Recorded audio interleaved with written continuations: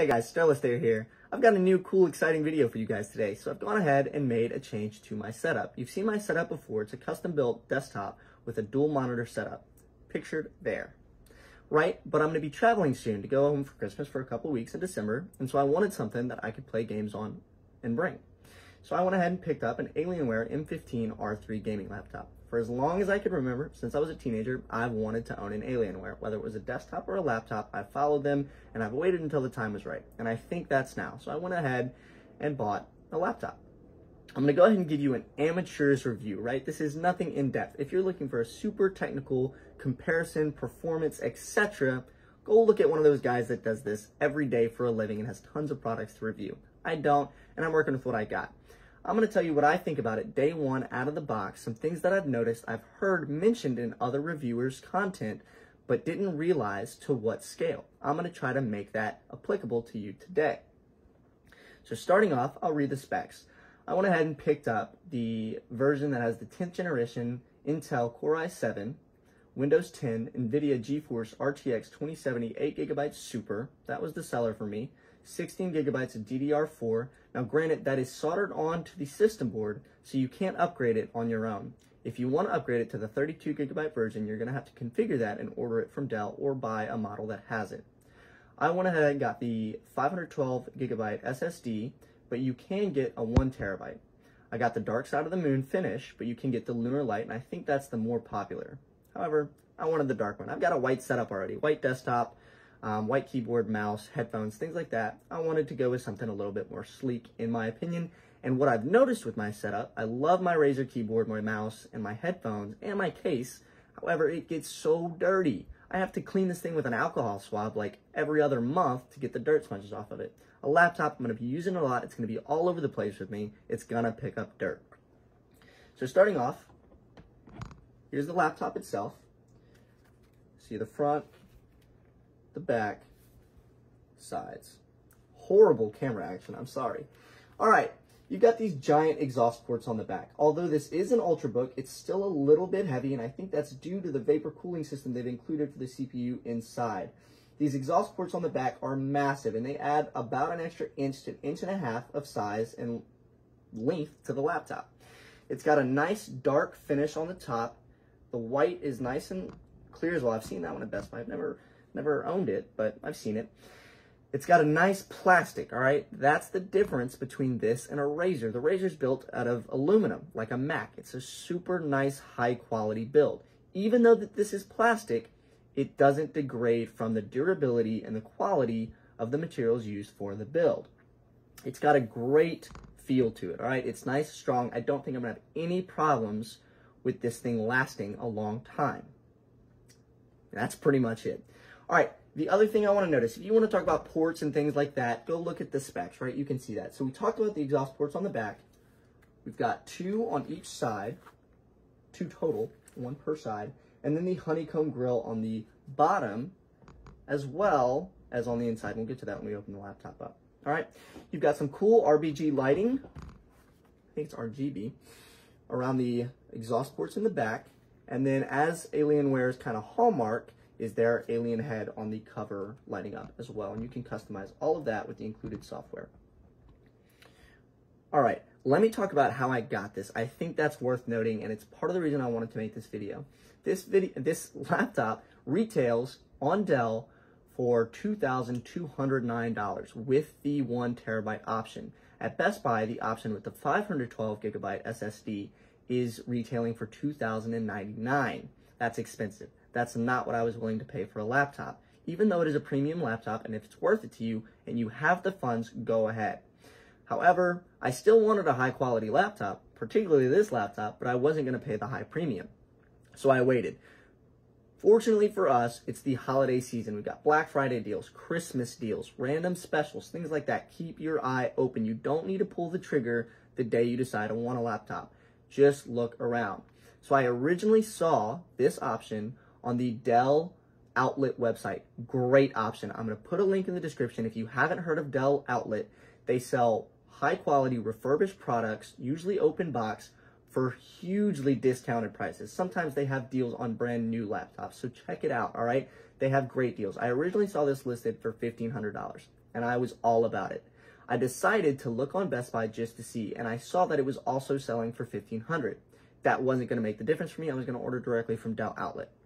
However, scroll a little bit down the page on Best Buy, and I saw an open box version for $1,300.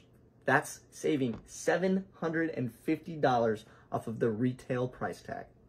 So I went ahead and took a look at the open box options. The $13 option was open box recertified and just shipped as is. Great. I think I would have had great success with that and no issues. However, for 1,350, there was an open box Geek Squad certified, refurbished, professionally cleaned with original packaging. I love packaging, right? So I wanted the original packaging, and the fact that it was professionally cleaned, being a maintainer myself, I knew how valuable that is.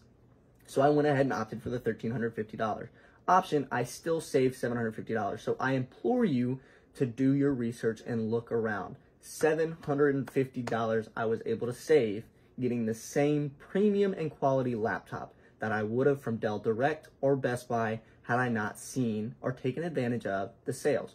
Look around. All right, opening it up. First thing you'll notice, RGB keyboard comes on. Give it a second, the laptop powers itself on. That's like a super small feature, but pretty cool that this thing knows that when you open it, it's gonna power on. Also, talking about powering on, I've been talking for maybe three seconds and this thing went from dead shut down to awake and ready to use in less than three seconds. Granted, it's got that SSD soldered directly onto the motherboard with expandable options, note, but it's super high performing. Really pleased with that. Looking on the inside here, like I mentioned before, we have our alien head power button. It's currently orange, and that's because I'm running on battery power, okay? You can configure that in the settings, but I like it it's just a neat reminder. Not necessary, neat. At the top of the keyboard here, you've got another honeycomb, honeycomb vent grill system. On the left and right side, we're going to pull cool air into the system, and in the middle, we're going to exhaust heat. As the sides as well, exhaust heat and the rear exhaust ports. We're going to talk about that later. The keyboard is a really nice layout, okay? The only thing that I don't love about it is that my function keys are smaller. They're about half the size of a normal key. To most people, that's not going to matter. I play World of Warcraft a lot, and I use my function keys. And it's a little bit weird and awkward having half-sized keys to press. But I think that was made at the sacrifice of having a keypad here, an arrow keypad, that's offset and full-sized. Razer doesn't do that, okay? They integrate it into a rectangular, um, symmetrical keyboard. I don't use these keys to play World of Warcraft, but other games I do, and I think that's invaluable. So that's a huge plus for me.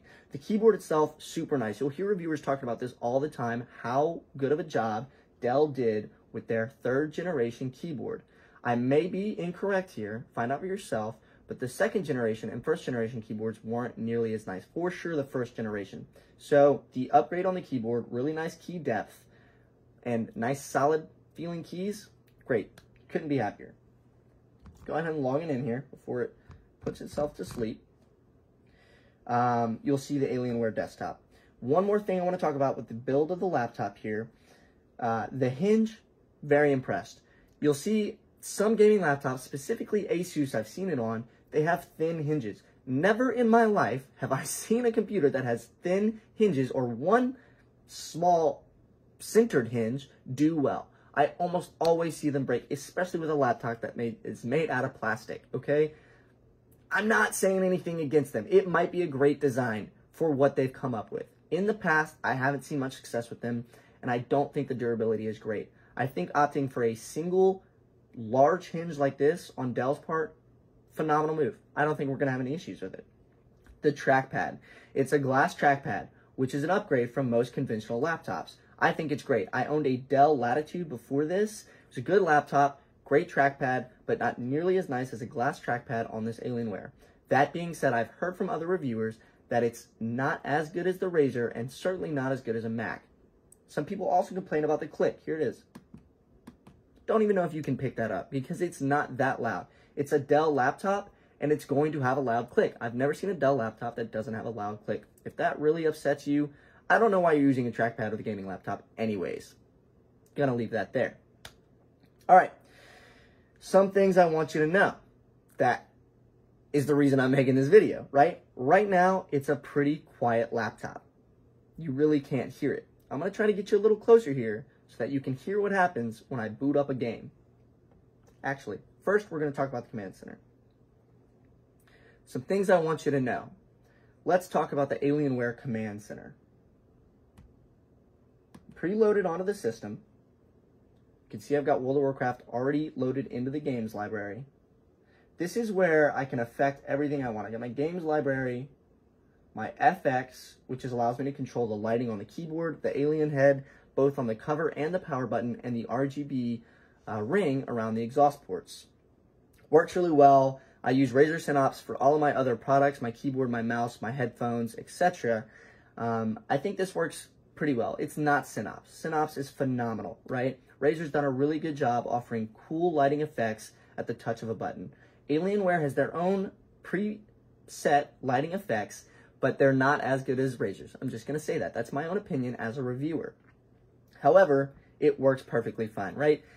You could make your own effects with the Alienware software. So it's like a null, right? If you're into that sort of thing and you want to take the time to make your own effects, you've got plenty of capability with the Alienware commands software to do it.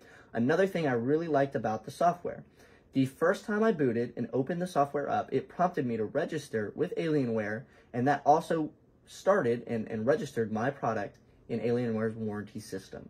That's a pain in the butt usually to go ahead and register your product with the company. It's usually a separate link outside of any preloaded software that you have to uh, execute yourself.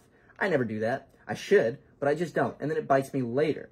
So the fact that Alienware just went ahead and put it into their software pre-built, it was painless. Happy with that. All right, let's go ahead and start up a game. That's what I want to show you. This is the main reason I'm making this video, right? I'm going to try to get you a good audible hearing, but you can hear it right now, or you can't. And that's because I'm just running in an ultrabook mode, right? I'm using it for web surfing at this point. I just booted up. It hasn't been taxed. However, this thing is loud. Let's go ahead and start up a game.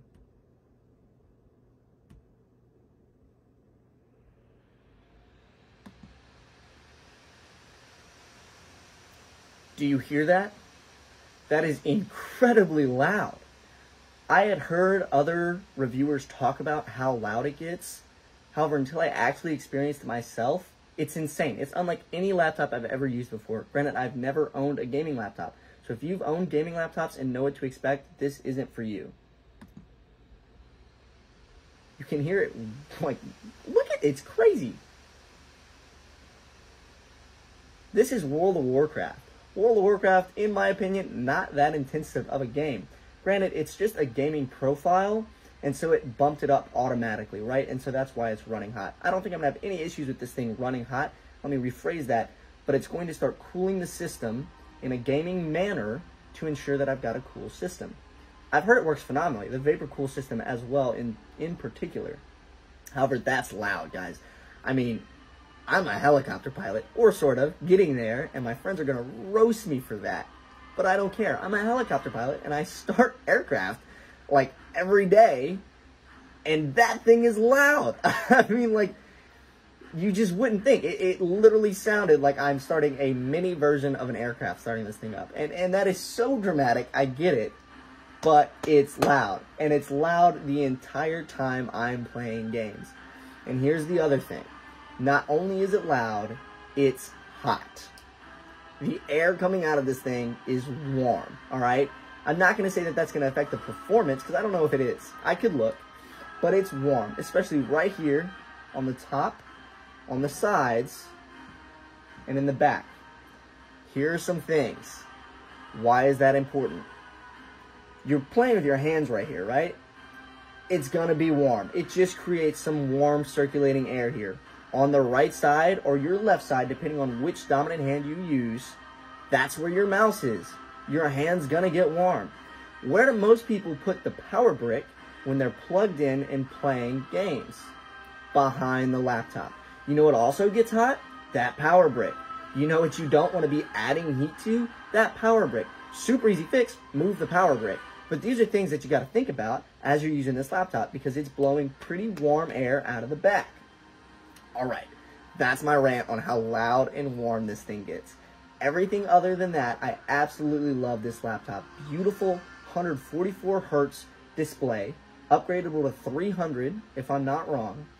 Um, great speakers. Some people don't like the speakers. It's got forward mounted front firing speakers and bottom mounted downward firing speakers. That adds a little bit of depth, and I thought it was pretty loud, especially compared to most laptops. I've heard it's not as good as the MacBook, but like Mac's untouchable. What are you gonna do? Um, for a gaming laptop, I think it's phenomenal. Okay, as you can see, I've exited out of the game. It's still pretty loud. It's winding down, but it takes a second. It's definitely not immediate. Just keep that in mind. One of the last things I want to talk about. This thing. This is a brick, you guys. I mean, I think it is literally to scale the size of a flat brick that you would use to build a house. It is huge and it gets pretty warm. I've heard that Dell makes an upgradable, nicer, curved, smaller, slimmer power brick. Literally everything I just said is better than that thing that they shipped me. Um, I guess you gotta buy it separately. I don't think it's necessary. That thing's gonna work just fine, but it's pretty massive, something to keep in mind. It would be nice if they shipped it by itself. Speaking of power, this thing to perform well, especially playing high intensity games, you're going to need to run it on power. It's got reduced capability when running on battery. That's no secret. I've heard from other reviewers that they can get about 90 minutes, an hour and a half on a large battery just surfing the internet or doing office word processing functions. I don't even want to know what it would keep up with a game. I mean, I'm a fourth of the way gone and I've been running it for maybe 10 minutes and I had World of Warcraft open, not even being played. Just something to keep in mind, all right, guys? Other than that, I love this thing. I think it was a great purchase. I'm excited to finally own an Alienware. And uh, that's about it. If you have any questions, just go ahead and drop them in the comments. I'll do my best to answer. I'm wearing my Stirless There merch shirt, one of six made, highly exclusive, and that's only because my friends were the only ones willing to buy them after I talked them into it. So I don't even know if that counts. Um, thanks for joining me, guys. I know this wasn't a super technical or in-depth review, but it's an Alienware M15R3. I love it. I think it's cool. I did a lot of debate over buying this one versus a Razer. The Razers weren't coming down on their premiums from what I saw. Not enough, not nearly as much as I was able to pick up this Alienware for. And while the Razer's super nice, they don't have the performance, in my opinion, and from what I've heard, as the Alienware. And a lot of that has to do with the capabilities that Dell gives you right off the bat with their command center, able to overclock the GPU and the CPU as well as undervolting them both. So I think that's a really great feature that you're going to find with an Alienware that you won't be able to find with the Razer, and that's due to the Razer size. If you're looking for something sleek, not very in-your-face RGB lighting like this one's got, the Razer's a great product for you. But because of its slim size, it's not able to incorporate the cooling that it needs to provide those other capabilities, something huge to keep in mind. Even if you don't fully understand it, like myself, that's pretty layman's term what it means, okay? Another reason that I'm going to go ahead and pitch an Alienware paying that premium versus Dell's G line of gaming or any other line of gaming, like you'll see from Asus or Acer, things like that. These manufacturers like to preload a lot of software onto their laptops, antivirus, um, random marketing programs. It's kind of ridiculous, especially like a Dell out of the box. This might have changed in the last five years since I've really been working with them. However, it was definitely the case when I was around them a lot. That preloaded software drastically slows your computer and fills up your hard drive right off the bat. I mean, that's a pain. And a lot of those programs you can't get rid of because they're embedded into the system, not just an uninstalled program, right? So keep that in mind. When you buy an Alienware, they know what you're using it for, they know you're paying the premium for it, and they want to give you what you're paying for. And I think they've done a really good job with this laptop. Keep that in mind. Look for those holiday deals as you enter into the season and you're excited to buy a laptop. Don't pull trigger day one. Go ahead and do some research, find a good deal, and enjoy what you've bought without paying the ridiculous premiums that are being asked. Ridiculous, worth it, synonymous. Thanks for watching, guys. This has been Stirless there.